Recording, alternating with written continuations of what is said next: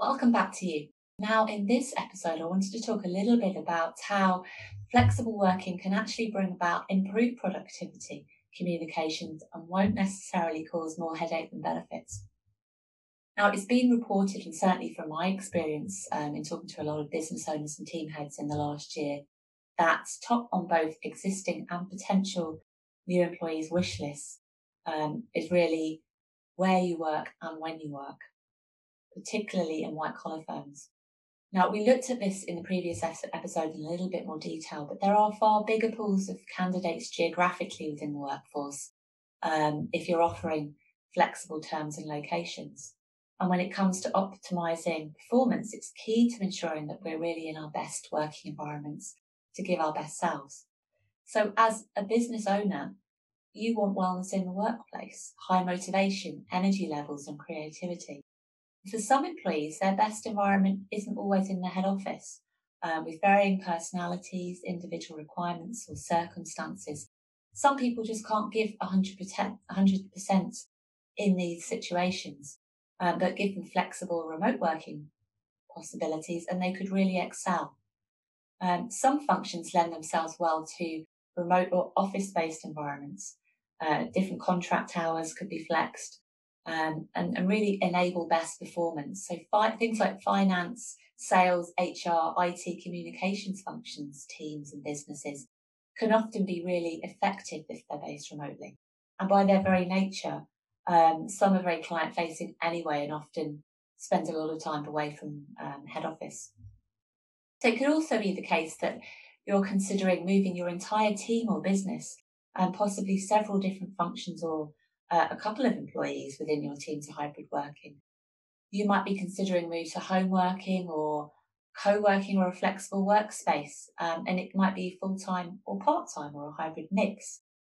But you're still concerned about that possible decline in productivity and performance as a result of possibly lack of transparency in communications.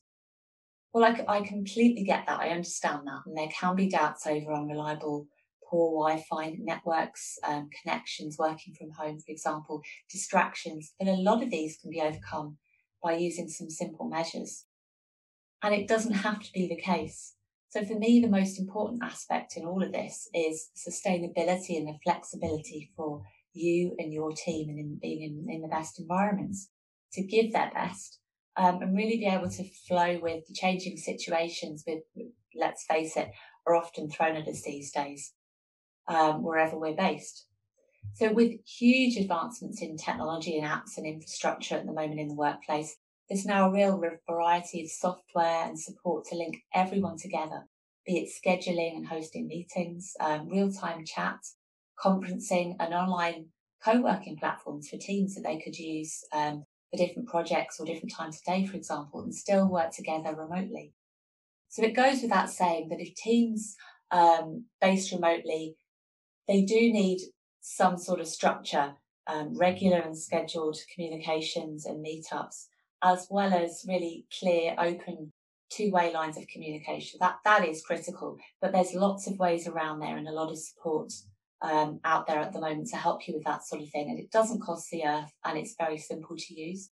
Um, if employees are using flexible office workspaces, co-working spaces, then these really have great infrastructure, really reliable, strong Wi-Fi, um, meeting rooms, privacy, security. And it's often the case that performance and output is increased because they have more focus times and less distractions by co-workers around them. They're also going to be at their best because they're more relaxed in a more relaxed environment.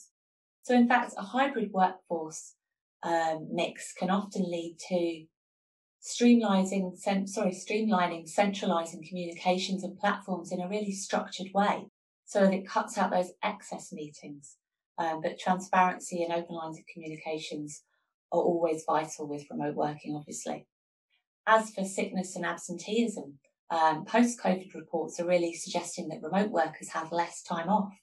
Um, they're actually happier, better well-being and more highly motivated they have an increased sense of being valued and really appreciated. And they actually more, are more willing to contribute um, ideas because they've that more of a sense of a feeling of independence and responsibility. So, in the next episode, I'll be looking at some of the factors you need to consider before going hybrid.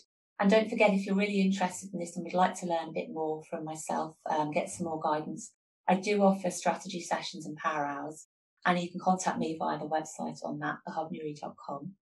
Um, so keep in touch, and I look forward to the next episode soon. Have a wonderful day.